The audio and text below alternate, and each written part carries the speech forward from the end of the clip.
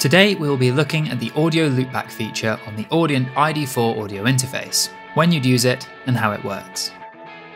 Audio loopback enables you to record your computer audio alongside your microphones in your audio software.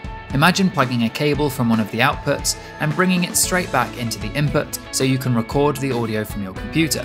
This is exactly what Audio Loopback is doing, but it all happens internally without the need for cables and while still allowing you to use your mic input for recording. Using Audio Loopback, you can record your computer's audio on separate channels to your microphone, or alternatively, you can combine your computer audio with your mic audio into a single channel to send to a stream or software that only accepts one audio input at a time. So how does it work on iD4? When you select your inputs in your audio software, you will actually notice that there are four inputs listed instead of the two you would expect for your mic and instrument input. Channels 3 and 4 are actually your loopback inputs, virtual inputs that we use to record your computer audio. You're able to control exactly what is sent to the loopback inputs using the dedicated audio loopback mixer. To access the loopback mixer, make sure that the iD app is running, and then press the iD logo in the menu bar on a Mac, or right click on the iD icon in the system tray on Windows, find the Show Loopback Mixer menu item and click it. So here is the Audio Loopback Mixer. Essentially, when you turn up any of the channels, it will be sent through to the loopback inputs, and you'll be able to access the audio from software. First, you have the input channels, which control the level of your microphone or instrument inputs. These are the physical inputs on your audio interface. Next, you have your main outputs. This is the default output of your computer. Any audio coming through the computer will appear here. Then you have loopback 1 and 2. These are virtual outputs that you can send audio to. To send audio to this output, you either need to do it in the specific application by selecting iD4's outputs 3 and 4, or loopback 1 and 2 as the outputs, or alternatively, you need to change your computer's default audio output to the iD4 loopback output so that everything on your computer is sent to these. I'll show you how to do this in a second. So let's look at how you can use the audio loopback mixer in a few different examples. Firstly, let's look at how you can use it to record some computer audio alongside your microphone on separate channels in some audio software. This would work whether trying to record game or video audio for commentary, or recording conversations for remote interviews. Let's go into the audio software and get that set up. In this example, we're going to be using Cubase LE, which comes free with iD4 when you register it. However, other audio softwares will have a similar setup process. Create a mono track for your microphone, making sure to set the input to input 1 and then create a stereo channel for your computer audio, setting the input to input 3 and 4. This channel will now pick up anything on the loopback inputs and anything that is turned up in the loopback mixer. As you can see in the loopback mixer, we have audio visible in the mic input and the main outputs.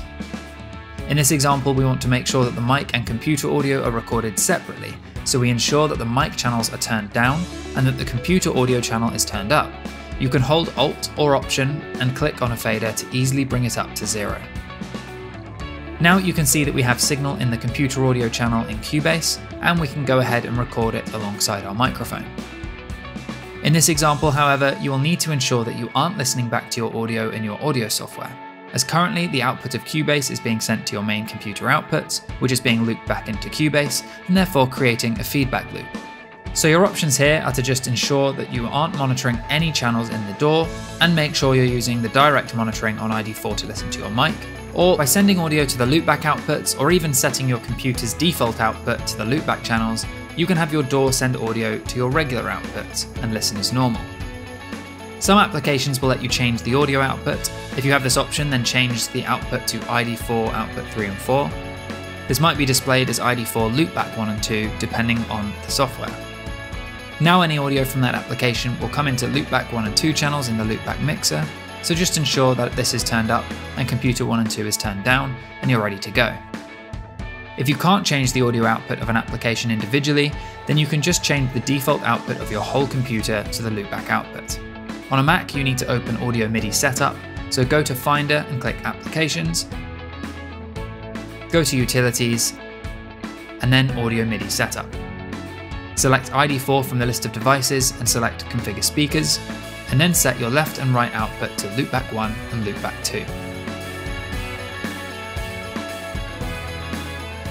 If you're on Windows, go to Settings, then System, Then go to the Sound tab and change your output settings to loopback 1 and 2. So now any audio from your computer will be sent to the loopback 1 and 2 channels in the audio loopback mixer.